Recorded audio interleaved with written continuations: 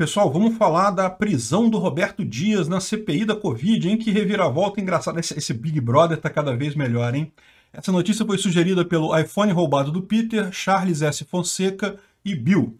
Obrigado aí ao pessoal que sugeriu a notícia, obrigado a você que está assistindo nossos vídeos por aqui. Se você gosta do nosso conteúdo, por favor, deixe o seu like e se inscreva aqui no canal, né? Então, pois é, minha gente, eu tinha até parado de acompanhar essa CPI, porque é tanta confusão, depois daquele depoimento do Dominguete que desmentiu o Luiz Miranda, que sei lá o quê, ficou aquela confusão danada, perdeu totalmente a credibilidade esse troço, tá todo mundo mentindo ali, já tá mais do que claro isso. Mas, pois bem, vocês lembram, o Roberto Dias foi demitido, o Roberto Dias, esse rapaz aqui, é o técnico, é o, o gestor, ou era o gestor do Ministério da Saúde, que supostamente teria se encontrado com o Dominguete num shopping é, no Shopping Brasília, é, é, lá em Brasília, né? E, que teria pedido um dólar de propina por cada vacina, né? Essa, essa é a versão do Dominguete da coisa. Pois bem, a CPI perguntou para o Roberto Dias é, é, para confirmar essa história, ele falou que não, que esse encontro no shopping foi casual, que ele estava no shopping com outro amigo almoçando e que o Roberto Dias, o, o desculpa, o, o Dominguete chegou lá e, e encontrou com eles casualmente ali no shopping, que não houve um encontro marcado. Bom, a CNN puxou uma, uns áudios do celular do Dominguete. É impressionante como é que a imprensa é, prova aqui no Brasil, meu amigo, vaza para a imprensa com uma velocidade impressionante, né? Então a imprensa já tinha os áudios extraídos pela polícia do celular do Dominguete. E aqui é, o Dominguete, em determinado momento, ele fala sobre esse encontro. Mas repara, isso daqui é áudio do celular do Dominguete. Então ele fala que o Dominguete, no dia 23 de fevereiro, portanto, dois dias antes do suposto pedido de propina, o Dominguete envia um áudio a um interlocutor Rafael. Rafael, tudo bem? A compra vai acontecer, tá? Estamos em fase burocrática. Em off, para você saber, quem vai assinar é o Dias mesmo, tá? Caiu no colo do Dias. A gente já se falou, né? E quinta-feira a gente tem uma reunião para finalizar com o Ministério ou seja, que seria essa reunião lá no Shopping Brasília. Ah, o outro áudio é, é, seria no dia 25, quando houve o jantar no bar em Brasília, segundo dizem, no qual Dias teria pedido a propina, mas que ele disse que não, que foi casual esse encontro, né? Depois tem outro áudio é, de um tal de Odilon, em que ele falou, olha só, queria que vocês se combinassem alguma coisa para se encontrar com o Dias. Isso foi 14h51 do mesmo dia do dia que supostamente teve um encontro com o Dias, né? E no dia 26, então, supostamente depois dessa reunião, ele, é, ele volta a enviar uma mensagem para o Rafael dizendo que havia acabado de sair da pasta e, é, e registra, a agenda oficial da pasta registra o encontro às 15 horas. Então, no dia 26, não é um encontro no shopping, é um outro encontro no dia 26 em que ele fala: acabei de sair do ministério, tudo redondinho, o Dias vai ligar para o Cristiano e conversar com o Herman ainda hoje, tá? Ele está afinando essa compra aí, várias reuniões criticando, certificando que a vacina já está à disposição do Brasil e coisa e tal. Se for da AstraZeneca, melhor ainda. Pois bem, lembra aquela história, né? A AstraZeneca falou que não tinha como vender por eles, que só vende aqui para o Brasil pela, pela uh, fundação, pela Fiocruz. Então essa história toda do, uh, do, do, do Dominguete, que é esse cara aqui, tá meio estranha, né? Mas enfim, o fato é, repara que em nada disso daqui diz realmente que ele se encontrou no bar lá com, com o Roberto Dias. Não fala nada, fala que ele vai ver o encontro, que ele vai marcar o encontro, que ele precisa encontrar, e fala no dia 26. Então não é no dia da reunião que ele, do shopping, é um dia que ele fez uma reunião no Ministério da Saúde, não no shopping, e que aí, é, depois disso que ele falou que estava tudo ok, que tinha falado com o Dias, mas no dia 26. Ou seja, não necessariamente teve realmente essa reunião no dia 25, ou não, é, não foi essa reunião que eles tinham marcado. Não há nenhuma evidência aqui dizendo que o, uh, o Roberto Dias sabia disso. Porque, veja, pode ser que até o Dominguete quisesse se encontrar com ele, uh, não estava achando o cara, descobriu que o cara estava lá no shopping e foi lá atrás dele. Isso não é uma coisa impossível de acontecer. Brasília é um ovo, todo mundo se conhece lá.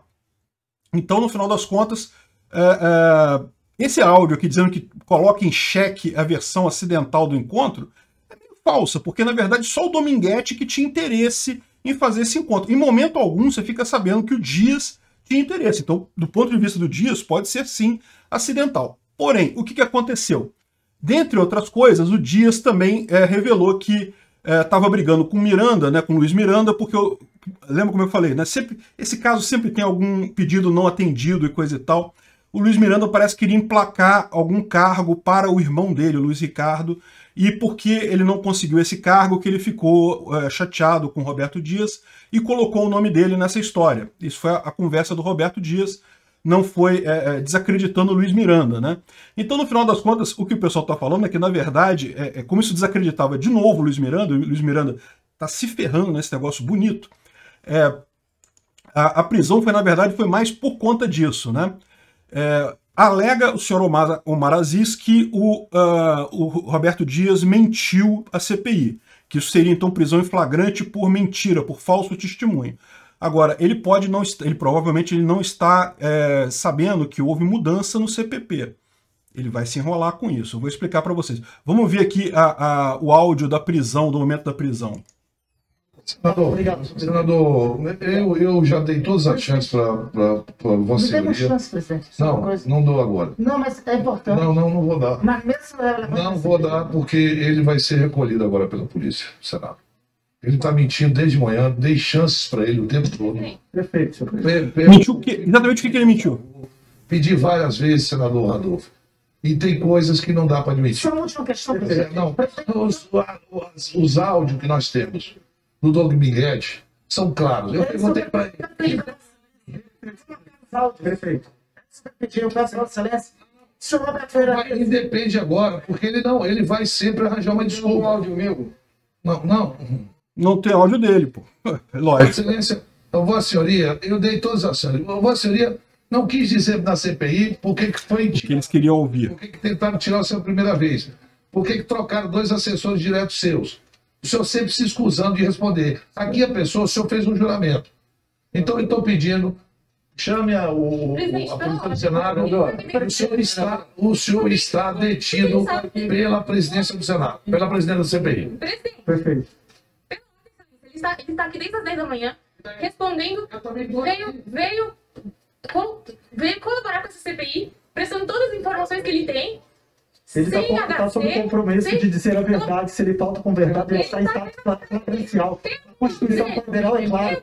Ninguém pode ser preso salvo ali na ordem judicial. Ele está preso em flagrante delito. Doutor, doutora, doutora, o meu ouvido, parece que as pessoas, quando sentam ao meu lado direito aqui, as pessoas se esquecem. Eu vi o Coronel Elcio aqui falar um monte de coisas que não são realidade. E morrendo gente todo dia. Você está me entendendo? Bom. Não, eu fiz, eu, eu, não. Então, como é que eu vou me lembrar o e-mail de quem eu recebo quando eu ah, recebo? Enfim, decretou a prisão do cara. Qual que é o problema dessa história toda, né? O que, que é prisão em flagrante? Em tese, qual é o crime que ele está sendo acusado naquele momento, né? Existe, de fato, no artigo 324, fazer afirmação falsa ou negar ou calar a verdade como testemunha, perito, coisa e tal. Então, se você é chamado como testemunha em um processo, e você faltar com a mentira, falar alguma inverdade, deixar de falar alguma coisa, você tem a pena de reclusão de 2 a 4 anos e multa. Agora, repara, isso só se aplica à testemunha, não se aplica a quem está sendo acusado. Se você está sendo acusado, você tem o direito de ficar calado. A ideia aqui é que a pessoa que é chamada como testemunha, ela não tem nada a ver com aquela história, então ela tem que falar a verdade, né? Beleza. E aí, em seguida, em, é, em passe disso, o que, que você tem como a, a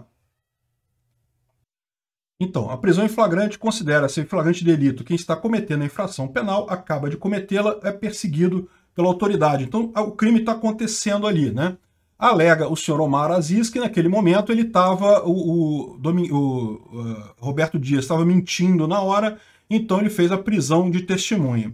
Esse tipo de coisa é um instituto que existe no Brasil e que é muito explorado por autoridades justamente para tentar forçar a testemunha a falar uma versão que quer ser dita, né? Porque, veja, a testemunha, a menos que existam provas cabais de que ela está mentindo, você fazer a prisão em, é, em flagrante delito, porque supostamente existem outras provas que dizem coisa em contrário, isso é falso. Caberia a prisão ao final do processo. Se depois, no final do processo, você detectar que realmente houve mentira, mas repara que ali naqueles áudios não está contradizendo o que ele falou especificamente. Você pode entender que, ah, não, mas é, muito provável que ele estava encontrando sim. Pode ser.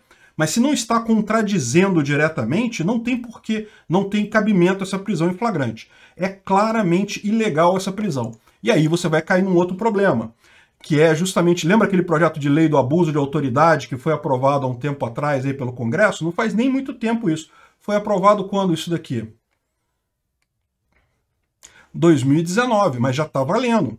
E o que, que, diz esse processo? Que a autoridade que decretar medida de privação de liberdade em manifesta desconformidade com as hipóteses legais também pode ser presa, detenção de 1 a 4 anos e multa, e é, se dentro do prazo razoável deixar de relaxar a prisão manifestamente legal, substituir, coisa e tal. Ou seja, o próprio Omar Aziz pode ser alvo de mandato de prisão agora, uma vez que ele está cometendo abuso de autoridade claramente de acordo com essa lei, né? Agora, vamos entender por que está essa história, qual que foi a confusão aqui, por que, que Omar Aziz mandou prender esse cara? Eu vou te explicar. Ele sabe que não, não vai, ele não conseguiu nada, né? Eles não conseguiram nada porque não tem nada mesmo para eles conseguirem ali. Mas o que, que eles querem fazer? Eles acham que esse cara é o elo fraco da coisa, entendeu? Esse cara é um cara que, se eles apertarem, se eles convencerem ele a dizer que, sei lá, o Ricardo Barros fez alguma coisa, ou que o presidente fez alguma coisa, ou que alguém indicou alguma coisa para ele fazer, para se safar, ele pode colocar outro no fogo, e é isso que a CPI quer. A CPI sabe que esse cara aqui é um Zé Mané, já foi até demitido, já não está mais no Ministério da Saúde.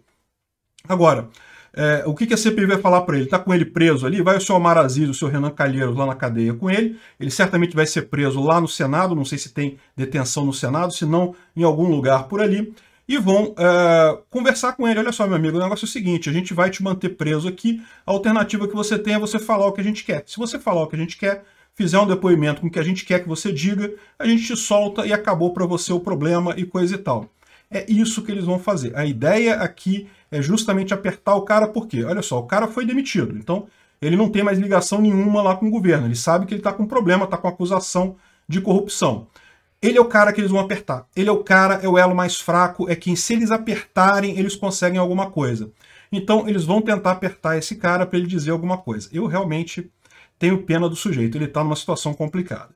Veja, ele está com advogado, ele certamente vai é, recorrer disso daí, vai exigir a liberação imediata, não há motivo nenhum para essa prisão em flagrante, é uma coisa totalmente descabida isso, mas é aquele negócio. É, é, é, é o, o, pessoal do Senado vai fazer de tudo para apertar ele, para dizer, olha, sua vida vai virar um inferno, a menos que você assine aqui essa declaração dizendo que não, Bolsonaro pessoalmente me procurou e pediu para eu fazer isso daí. Porque no final das contas o que eles querem é isso, é implicar Bolsonaro de alguma forma. O que eles têm até aqui é muito pouco, é praticamente nada. Então, é, é, até aqui tem só mesmo disse-me disse, não sei o que lá, a gente já, já falou aqui nos outros vídeos, não tem nada de concreto. E eles sabem que precisam de alguma coisa de concreto se vão ter algum resultado dessa CPI. Então, no final das contas, é isso. Infelizmente, o cara foi pego para ser o ponto de aperto aí, o ponto de pressão do, do pessoal da CPI. Certamente eles já sabiam que ele ia ser preso de qualquer forma, isso já estava planejado eles fazerem desde o início, né? Agora, vamos ver como é que vai ser o contra-ataque do outro lado, porque é aquele negócio, né? O Aziz também pode ser preso por isso. Se chegou até aqui e gostou do conteúdo, clique no like e se inscreva no canal. Isso me ajuda e ajuda também a causa da liberdade, pois o YouTube vai passar a recomendar mais os meus vídeos e vídeos com temas libertários para você e para outras pessoas. Considere também clicar no sininho e pedir para ser notificado de novos vídeos. Caso queira sugerir uma notícia para falarmos aqui, é só ir no nosso site https ancap.su, clicar lá em sugerir uma pauta, colocar o link da notícia, pode acrescentar alguma informação se você quiser. Eu agradeço a todos que nos ajudam a fazer este programa.